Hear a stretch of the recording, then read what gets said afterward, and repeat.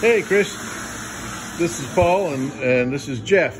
Jeff's back from uh, from uh, from uh, COVID. Uh, um, COVID vacation. Yeah, yeah, COVID vacation, I guess you'd call it.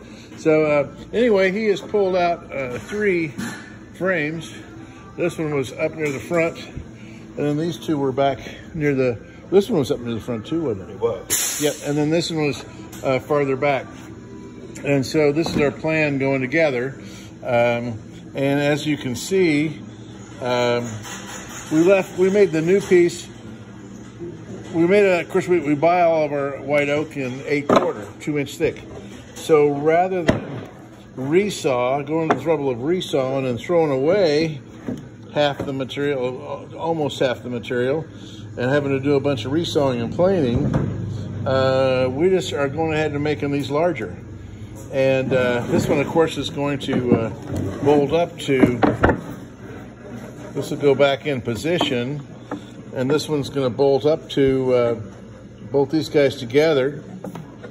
This is going to hold, this one's going to hold part, uh, you know, the remaining portion of the rib uh, that's on the boat. And then this, of course, is going to have a new rib that goes all the way across uh, both sides of the boat. And, and we'll bolt all that together. So uh, we may run this through a sander or a planer just for a quick cleanup.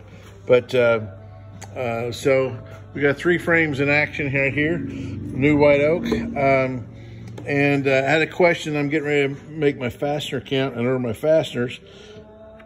It looks like there was a combination of bronze and steel. Uh, here's some steel fasteners. Uh, there's one that was definitely steel.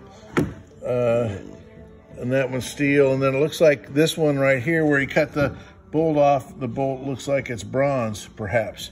So um, anyway, uh, my question for you is, is do you want us to go back with stainless or do you want me to go ahead and purchase bronze fasteners? I'm going to recommend that we're going to all this trouble that we go ahead and put bronze fasteners in. Now this one's going to be bolted down to the keel like these had been, but most of these boats bolts have either failed or very close to failure. So uh, we're planning on just putting in new uh, new bolts uh, through the keel to fasten each one of these to the keel. Uh, so uh, if there's anything I've told you that uh, you don't like the idea of, speak now or forever hold your peace.